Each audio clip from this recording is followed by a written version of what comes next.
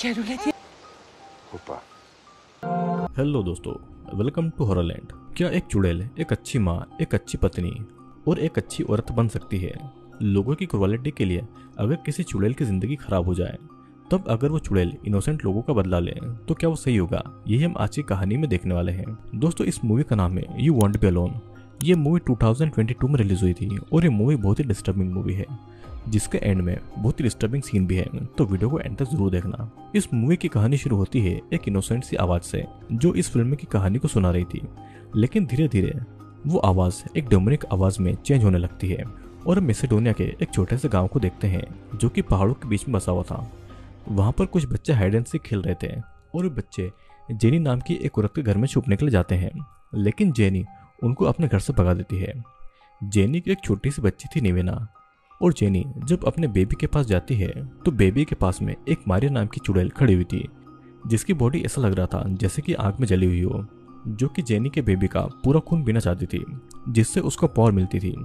Jenny Maria से request करती है कि वो उसके बच्चे को छोड़ दे, लेकिन मारिया उसकी बात नहीं सुनती है। और तब जेनी मारिया से उसके बच्चे के साथ में सिर्फ़ 16 सालों तक रहने की परमिशन मांगती है। और तब मारिया जेनी की इस बात को मान जाती है। लेकिन जाने से पहले, निशानी के तौर पर वो उस बच्चे की जीवान को काट देती है, ताकि जब 16 साल के बाद में मारिया बेबी को लेने के लिए आए तो वो उसे आसानी से पहचान जाए।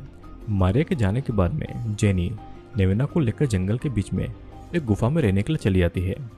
और बाहर के लोगों को जेनी ऐसा दिखाती है, जैसे कि नेवेना को वो चुड़ैल अपने साथ में ले गई हो, ताकि किसी को भी मारिया और उसकी बेटी नेवेना के बारे में न पता चले। नेवेना उसी गुफा में बड़ी होने लगी थी और जेनी नेवेना को कभी भी उस गुफा से बाहर नहीं जाने देती थी। नेवेना ने आज तक बाहर की दुनिया नहीं देखी थी। मारिया ने नेवेना की जीवन को काट दिया था तो इसलिए नेवेना बोल भी नहीं पाती थी। लेकिन नेवेना को ऐसा लगता है जैसे कि उसकी आवाज़ उसके अंदर कहीं छुपी हो। जेनी नेवेना को हमेशा कहती थी कि बाहर की दुनिया बहुत ही खराब है और उसको बाहर नहीं जाना चाहिए। फिर एक दिन उसको उस गुफा में एक चिड़िया दिखाई देती है।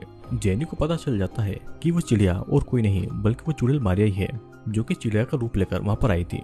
जेनी उस चिड़िया को नेवेना से दूर रहने को कहती है और उस चिड़िया के ऊपर पत्थर फेंकती है। वो चिड़िया गुफा के दूसरी तरफ़ जाती है और जेनी उस चिड़िया को मारने के लिए उसके पीछे जाती है।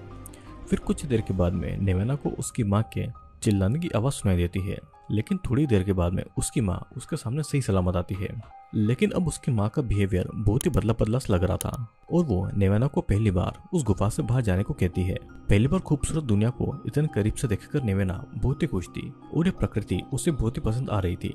जेनी नेवेना को एक घर में लेकर जाती है, और अंदर जाकर जेनी एक जानवर का खून पीती है। इसे देखकर नेवेना को काफ़ी अजीब लगता है।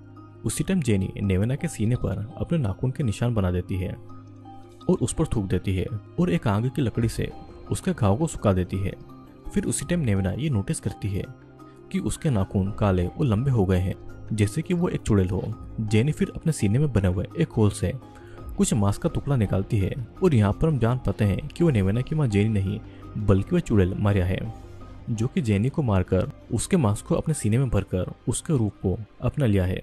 उसने नेवना को अपनी शक्तियों का इस्तेमाल करके चुड़ैल बना दिया था, जो कोई भी चुड़ैल ज़िंदगी में सिर्फ़ एक बार कर सकती थी कि वो किसी भी नॉर्मल औरत को एक चुड़ैल बना दे। नेवेना उस चुड़ैल के साथ ही चलने लगती है और वो चुड़ैल नेवेना को ज़िंदा रहने के तरीके सिखाती है। फिर एक दिन एडम नाम का एक फार्मर नेवेना को देखता है, जो कि नेवेना की खूबसूरती देखकर उसका फ़ायदा उठाना चाहता था। लेकिन चुड़ैल मारिया एडम को देखकर उसे अपने नाखून से चीरकर मार डालती है। नेवेना को इतना कमज़ोर देखकर वो नेवेना पर बहुत गुस्सा करती है। और खतरा आने पर वो नेवेना को लोगों को मार देने की सलाह देती है। फिर एक दिन मारियो की बातों से गुस्सा होकर नेवेना उसके ऊपर पत्थर मारती है और मारिया भी गुस्से में नेवेना को पानी में डुबाकर मारने की कोशिश करती है। लेकिन मारिया नेवेना को नहीं मारती है और उसे खुद के लिए लड़ाई लड़ने को कहती है और नेवेना को छोड़कर चली जाती है। नेवेना फिर भी मारिया का पीछा करती है, जहाँ पर मारिया एक भेड़िया को मारकर उसका मांस अपने सीने के होल में घुसाकर उस भेड़िया का रूप ले लेती है और नेवेना इसी तरीके से अपने रूप को भी बदलना सीख जाती है। फिर अब नेवेना एक गाँव जाती है, जहाँ पर कुछ औरतें सिंडी नाम की एक औरत की डिलीवरी करवा रहे थे। फिर कुछ देर के बाद में नेवेना सिंडी के घर पर जाती है, ताकि वो उसके नवजात बच्चे को देख सके।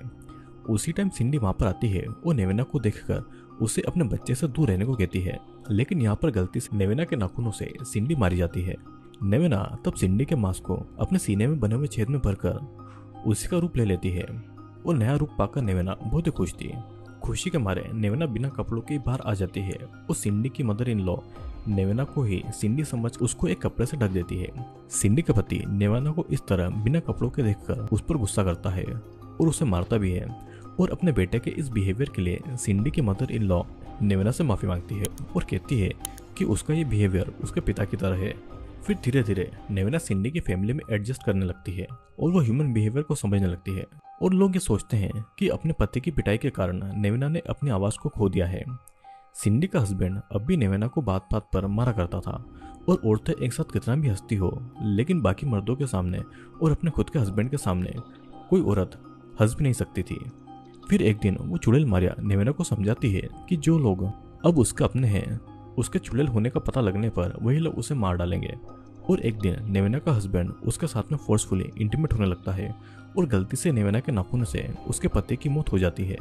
यहाँ पर अब नेवेना रही तो लोगों को उसके चुड़ैल होने के बारे में पता चल जाएगा और उसको गाँव वाले मार डालेंगे। तो इसलिए नेवेना वहाँ से चली जाती है। नेवेना सिंडी के मांस को अपने सीने से निकालकर सिंडी का रूप छोड़ देती है और एक कुत्ते को मारकर उसका रूप ले लेती है। एक दिन नेवना अपने असली रूप में आकर स्टीवन नाम के एक लड़के को अकेला पाकर उसको अपने जाल में फंसाने के लिए उसके सामने बिना कपड़ों के नहाने लगती है। स्टीवन भी नेवेना के जाल में फंसकर उसके पास में आता है और वो नेवेना का रेप करने की कोशिश करता है। नेवेना स्टीवन को मारकर उसका मांस अपने सीने के होल में डालकर उसी का रूप ले लेती है। स्टीवन का रूप लेकर नेवेना बिना किसी के रिस्ट्रिक्शन के आज़ादी से जो मर्ज़ी हो वो कर सकती थी, क्योंकि लड़कों को कोई भी किसी चीज़ के लिए नहीं मना करता था। एक दिन चुड़ैल मारिया नेवेना से मिलने आती है और उसे इंसल्ट करके कहती है कि उसको फिर से किसी और की लाइफ अपनानी पड़ी और चुड़ैल होने के कारण वो ज़्यादा दिनों तक सिंडी बनकर उसकी लाइफ नहीं जी पाई। फिर एक दिन एक औरत नेवेना को सेड्यूस करके उसको अपने घर में बुलाती है और उसके साथ में इंटीमेट होती है और पहली बार नेवना को सेक्सुअल प्लेजर के बारे में पता चलता है। नेवना को गाँव के कुछ बच्चों से एंजेला नाम की एक बच्ची के बारे में पता चलता है, जो कि खेलते खेलते पहाड़ से गिर गई थी। और नेवना जाकर एंजेला को देखती है, जो कि मर चुकी थी। एंजेला की मौत से पहली बार नेवना दुख को महसूस करती है और बहुत रोती है। नेवेना फिर अपने सीने से स्टीवन का मांस निकालकर वो एंजेला का रूप ले लेती है और कुछ देर के बाद में एंजेला की फैमिली एंजेला को ज़िंदा देखकर बहुत ही खुश होती है। नेविना फिर एंजेला के रूप को ही अपनाकर उसकी फैमिली में बड़ी होने लगती है और उसे अपनी फैमिली के लोगों से बहुत ही ज़्यादा प्यार मिलता है। अब एक दिन उसकी दादी उसे चुड़ैल मारिया की स्टोरी सुनाने लगती है। वो कहती है कि मारिया पहले एक नॉर्मल इंसान थी, जो कि घर का सारा काम किया करती थी और अपनी फैमिली का ख्याल भी रखती थी। लेकिन उसके लिए कोई भी शादी का रिश्ता नहीं आ रहा था। फिर एक दिन मारिया को एक चुड़ैल दिखाई देती है, जो कि किसी जानवर का खून पी रही थी। और मारिया उस चुड़ैल से एक लड़का मांगती है ताकि वो उससे शादी करके अपनी नई ज़िंदगी शुरू करे। लेकिन चुड़ैल यहाँ पर मारिया के सीने पर अपने नाखून के निशान बनाकर उसके ऊपर थूक कर उसे भी चुड़ैल बना देती है। मारिया को इस बारे में नहीं पता चलता है कि वो अब एक चुड़ैल बन चुकी है। अब कुछ दिन के बाद मारिया के लिए एक शादी का रिश्ता आता है। वो लड़के से मिलवाने के लिए लड़के के घर वाले मारिया को अपने साथ में ले जाते हैं। लेकिन वहाँ जाकर मारिया ये देखती है कि वो लड़का बीमार है और मरने वाला है। वो लड़के के घर वाले मारिया को उस लड़के के साथ ज़बरदस्ती इंटीमेट करवाते हैं, ताकि लड़के के मरने के बाद उनके ब्लड रिलेशन का कोई फैमिली को आगे बढ़ाएगा। मारिया भी बहुत बीमार पड़ चुकी थी, क्योंकि वो एक चुड़ैल थी, और उसने किसी का भी खून नहीं पिया था तो इसीलिए मारिया एक गाय को मारकर उसका खून पीती है। गाँव के लोग उसे ऐसा करते हुए देखकर उसे चुड़ैल मान लेते हैं, और सबके सामने मारिया को बांधकर उसके शरीर में आग लगा दी जाती है। लेकिन मारिया एक चुड़ैल थी तो मरती नहीं है, क्योंकि एक चुड़ैल को सिर्फ़ एक चुड़ैल ही मार सकती थी। पर उसका शरीर आग की वजह से जल चुका था और तभी से मारिया लोगों पर विश्वास नहीं करती थी, क्योंकि लोगों ने उसकी पूरी ज़िंदगी को खराब कर दिया था। अब प्रेजेंट टाइम में नेवना, एंजेला की बॉडी में बड़ी हो चुकी थी और एरिक नाम का एक लड़का नेवना से प्यार करता था। और कुछ ही दिनों में दोनों की शादी भी हो जाती है। सभी नेवेना को अपने हस्बैंड की सारी बातें मानने के लिए कहते हैं और उसे एक गुलाम की तरह उसके साथ में रहने को कहते हैं। हम देखते हैं कि मारिया कभी कभी नेवना के पास आकर उसको चेतावनी देती थी कि अगर एरिक को पता चल गया, वो एक चुड़ैल है। तो एरिक उसे छोड़कर चला जाएगा। लेकिन नेवेना मारिया की बात पर ध्यान नहीं देती है और एक दिन इंडिमेट होते हुए नेवेना एरिक को बता देती है कि वो एक चुड़ैल है। लेकिन एरिक को इस बात से कोई फ़र्क नहीं पड़ता है, क्योंकि वो नेवेना से सच में बहुत ही ज़्यादा प्यार करता था। और कुछ ही दिनों में नेवेना प्रेग्नेंट हो जाती है और उनकी एक हैप्पी फैमिली ऐसे चलती आती है। फिर हम देखते हैं कि एक दिन मारिया एक जंगली जानवर का रूप लेकर एरिक को मार डालती है। और एरिक की मौत के लिए नेवेना खुद को जिम्मेदार समझती है। कुछ दिन के बाद में नेवेना एक बच्ची को जन्म देती है। लेकिन वो इस बात से डर रही थी, कहीं मारिया उसकी बच्ची की जान न ले ले। जेनी नेवेना को जिस तरह प्रोटेक्ट करती थी, उसी तरह नेवेना भी अपनी बेटी को प्रोटेक्ट करने लगी थी। और एक दिन नेवेना अपनी मेट के पास में अपनी बेटी को छोड़कर कुछ लकड़ी लाने जंगल में चली जाती है। वापस आकर वो देखती है कि उसकी मेड मर चुकी है और उसकी बच्ची के पास में मारिया खड़ी है। मारिया अपने नाखून से उस बच्चे के गले में एक कट मारती है।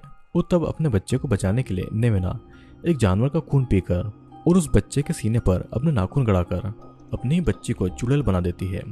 और ये देखकर नेवेना से मारिया एक ही सवाल पूछती है कि ये ज़िंदगी नेवेना के लिए इतनी आसान कैसे हुई? क्योंकि उसकी लाइफ लोगों ने बर्बाद कर दी थी।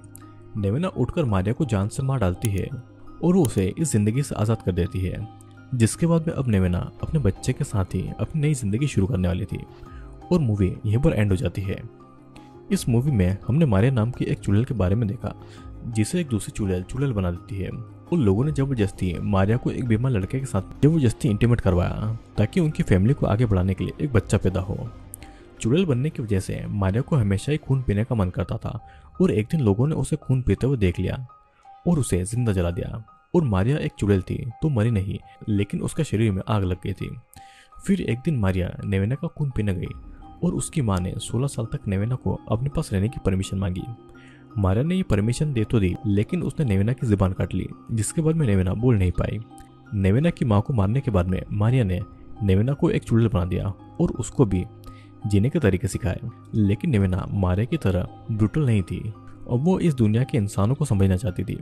सिंडी का रूप लेकर नेवेना ने यह सीखा कि अपने पति के सामने हंसना नहीं चाहिए और उसका गुलाम बनकर रहना चाहिए। नेवेना ने सिंडी के रूप में एक पत्नी के सभी काम सीखे और स्टीवन का रूप लेकर कि मर्दों को किसी भी चीज़ के लिए रोका नहीं जाता है और जो उसकी मर्ज़ी हो, वो कर सकता है।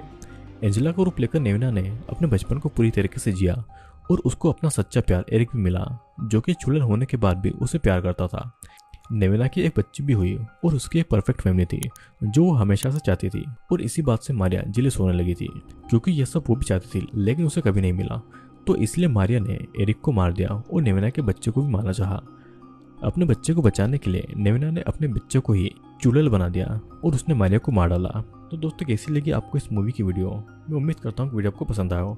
वीडियो पसंद आए तो वीडियो को लाइक कमेंट और शेयर ज़रूर करना। मैं आपको जल्द ही और भी इंटरेस्टिंग वीडियो लेकर आने वाला हूँ।